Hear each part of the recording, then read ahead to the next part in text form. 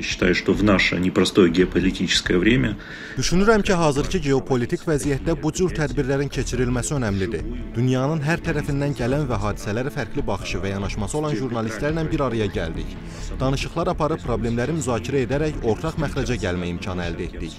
Sərhədsiz Reportyorlar Təşkilatının media forum barədə mövqeyinə gəlincə, bu məni təəccübləndirmədi. Bu qurumun çoxdandır jurnalistlər assosiasiyasına aidiyyəti yoxdur. Onlar qərbdəki avadarlarının maddi maraqlarına xidmət edirlər. Bu təşkilat jurnalistlərin hüquqları və təhlükəsizliyi ilə məşğul olmur. они занимаются своими финансовыми э, вопросами, э, теми вопросами, которые перед, ими- перед ними ставит их куратор.